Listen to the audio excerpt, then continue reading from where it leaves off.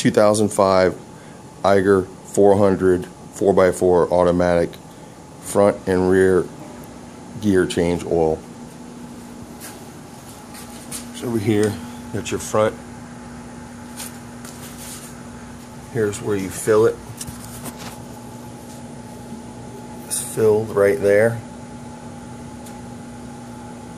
Your check bolt is right there. You open that up, fill here until it flows out there. Tighten that back up.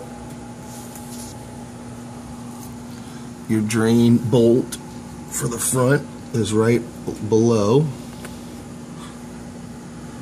Right there. That was a 21 millimeter. And that's it. You just crack it loose, drain it all out, crack open your side bolt, crack open your other bolt, fill it till it drains out, and then tighten them all back up, and you should be good to go. I use a winch. I've got some serious snorkels on there too, just to let you know. We go deep. We got dive flag I gotta put up, but you want to use